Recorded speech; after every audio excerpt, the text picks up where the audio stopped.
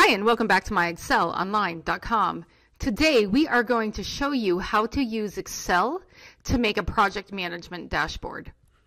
If you want to learn more about Microsoft Excel and Office, join our Academy online course and access more than a thousand video training tutorials so that you can advance your level and get the promotions, pay raises, or new jobs. The link to join our Academy online course is in the description. So here I am in Excel and I've created a sample project schedule where I'm going to make a few different series of videos and there are a few tasks that are associated with every video. For each of these I have a start time, a duration, and a due date. And you can also see in this column I the progress of how complete my task is. I'm also going to include the amount of budgeted money and the actual money spent so I can get an actual divided by budget percent over here. So this is great information for anyone that's managing a project, but it would be really nice to have a dashboard that updates really quickly so that we can see those metrics all on one screen. So how do we go about doing that? Well, first of all, I'm going to rename sheet one to data. I'm just going to double click here and type in data. And then I'm going to hit this add button right here. And I'm going to double click and call this one dashboard. Now the first thing I would like to do is maybe click in cell A5 on my dashboard and go up to insert and go to pivot table. And I'm going to do that from table range. And I'm going to click this up arrow and go over here to data. And I'm just going to select all the data that I have in my table and hit this button again and say OK.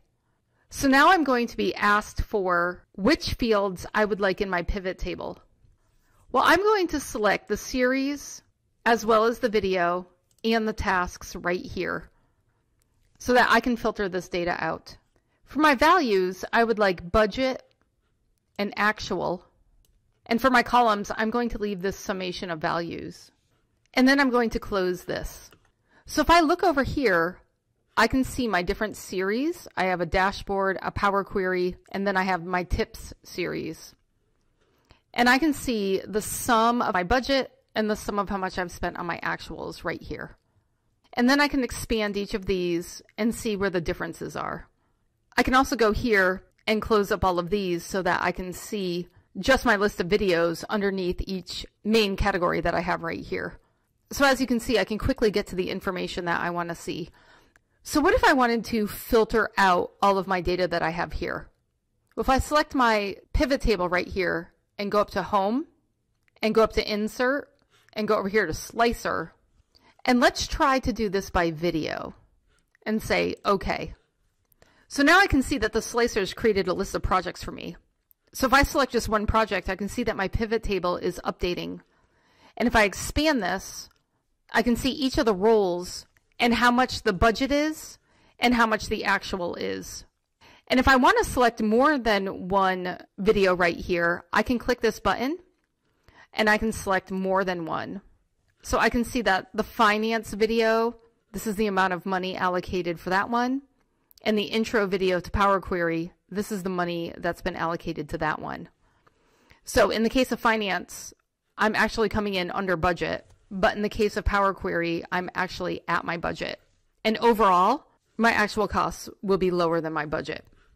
So let's make A1 a little bit bigger, shrink our slicer a little bit, and just move that over here. If you are liking this video, please give us a thumbs up and subscribe to our channel, and hit the bell button to get notified when we release our weekly videos. Now let's say I would like to see other information about my video. So next, let's insert a second pivot table. I'm going to go up here to Insert, Pivot Table from Table Range. Again, I'm going to click the up arrow, go over here to Data, select my whole table, click this button again, and say OK.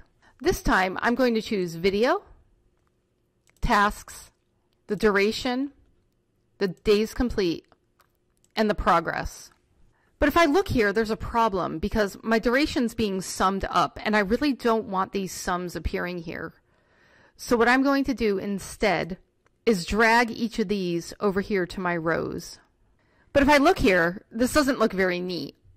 So what I would like to do is click here, go up to design, go over here to report layout, and just say show in tabular form.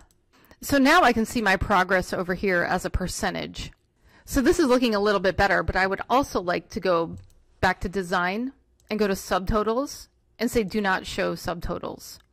And then also the buttons are kind of in the way, taking up space. So if I go back to pivot table analyze, I can turn those off right here by clicking the buttons. So now this table is making a little bit more sense. I can see how long it's supposed to take, how many days are complete, and what my progress is. And if you would like, you can hit the X right here have a little bit more space on your screen.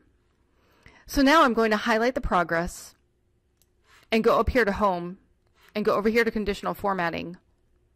And let's put some data bars in here so we can get a little bit better visual on the completion rate of each of our projects. And let's scroll up again and right click on the slicer and go down here to report connections. And I can see that the slicer is linked to the first pivot table, but I actually want it to be linked to both pivot tables so that they change anytime I select something different in the slicer. So I'm going to put a check on both of these and say OK. So now when I pick all of these, I can see that if I scroll down, every project is included in both of my pivot tables.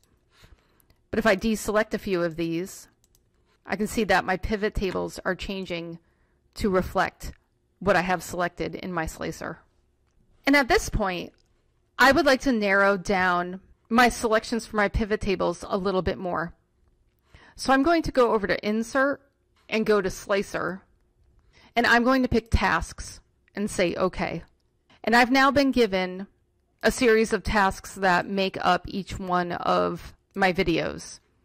So if I right click on here and go to Report Connections, I want to make sure I pick both pivot tables so that they will be changed as I change data in the slicer and say OK. And then if I want to be able to multi-select, I need to select this button right here. Let's just say I want to pick the finance video. And over here, I just want to see how my progress is coming on the editing. So I can now see that these are my budget numbers, and this is the time that I have that's gone into the editing. Now let's go back to my data. What other information on here would be useful? What I'm thinking is how about anything that has a progress of zero has not been started, anything with a progress of 100 is finished, and anything in between is something in progress. So let's create that little table of information right here. Complete, in progress, not started. If I scroll over just a bit, and click in the cell next to complete, I'm going to type in equals and do a count if and put a left parenthesis. And I'm going to do this range and then I'm going to say comma one. Close the parentheses and hit enter. And I can see that there's two that are 100% complete. For the not started, I'm going to put an equal and do count if left parenthesis, highlight the progress column, and do a comma zero close the parentheses, and hit enter. And I can see that six have not even been started. Now the tricky one is right here.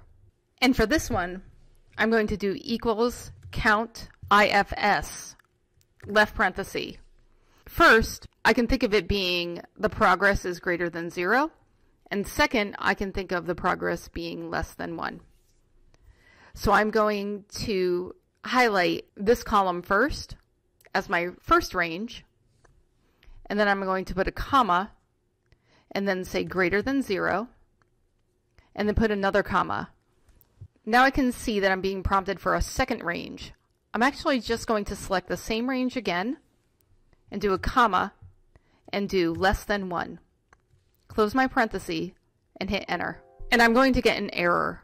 I'm going to say okay to this error because the greater than zero needs to be surrounded by double quotes and the less than one also needs to be surrounded by double quotes.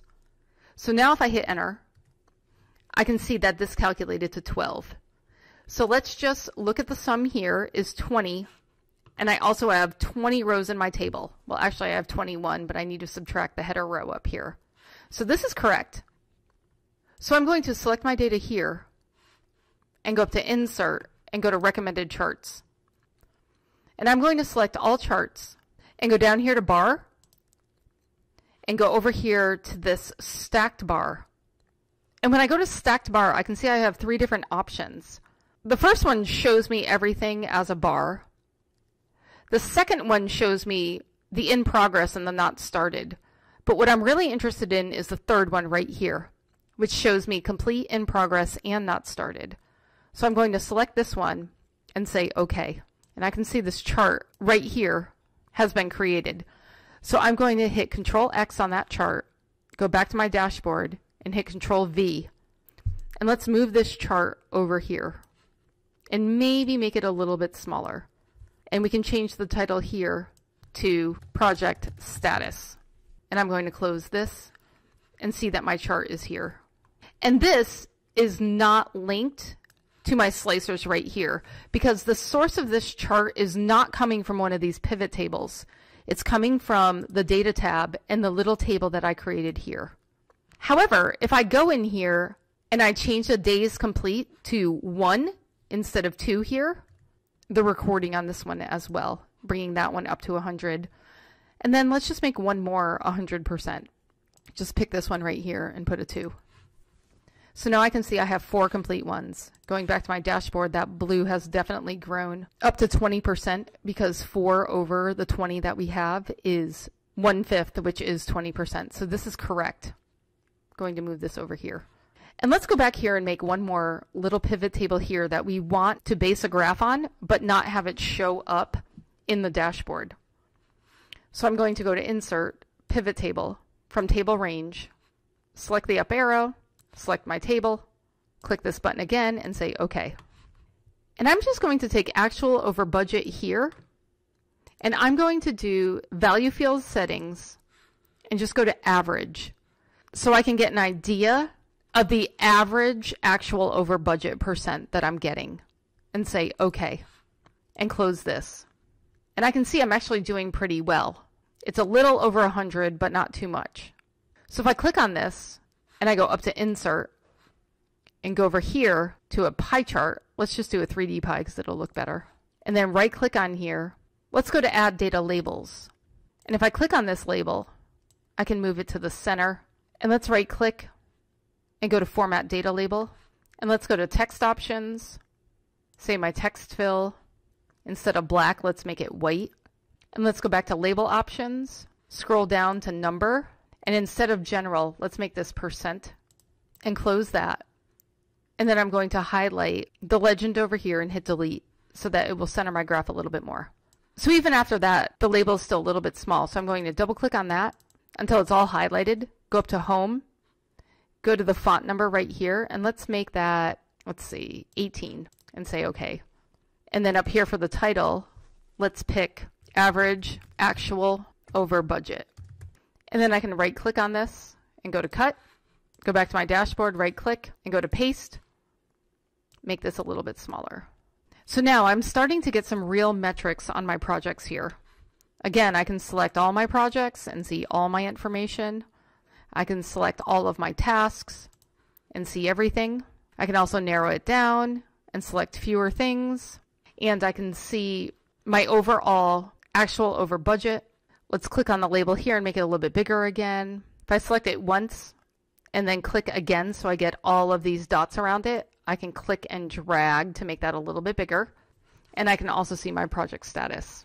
So as you can see, there's a lot you can do to create a project management dashboard. There are lots of other kinds of graphs. It depends on how you want to look at your data, but I just wanted to show you today that is very doable to create a project management dashboard that you can change with just a couple of clicks inside of Excel. If you have any questions or comments, please leave them below and we'll get back to you. Thanks for watching and see you again next time. If you want to learn more about Microsoft Excel and Office, join our Academy online course and access more than a thousand video training tutorials so that you can advance your level and get the promotions, pay raises, or new jobs. The link to join our Academy online course is in the description. If you like this video, subscribe to our YouTube channel. And if you're really serious about advancing your Microsoft Excel skills so you can stand out from the crowd and get the jobs promotions and pay rises that you deserve, then click up here and join our Academy online course today.